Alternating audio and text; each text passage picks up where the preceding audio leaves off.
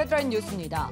홍남기 구초- 국무총리 직무대행 겸 경제부총리는 지난 20일 종합부동산세 부과 기준을 공시가격 9억 원 이상에서 상향하는 방안을 검토하고 있다고 밝혔습니다. 홍 총리 대행은 재보선을 치르면서 종부세에 대한 얘기가 많아 정부도 다시 한번 들여다보는 게 필요하다고 판단해 지금 살펴보는 것이라고 설명했습니다. 국토부의 외국인 토지 보유 현황에 따르면 순수 외국인 소유 토지 면적은 2016년 1,199만 8천 제곱미터에서 2020년 상반기 2,041만 2천 제곱미터로 4년간 70% 증가했습니다. 이 중 중국인의 소유 필지가 2016년 2만 4,035건에서 2020년 상반기 5만 4,112건으로 약 3만 건 늘었고 서울 및 경기도 토지 거래가 가장 많았습니다.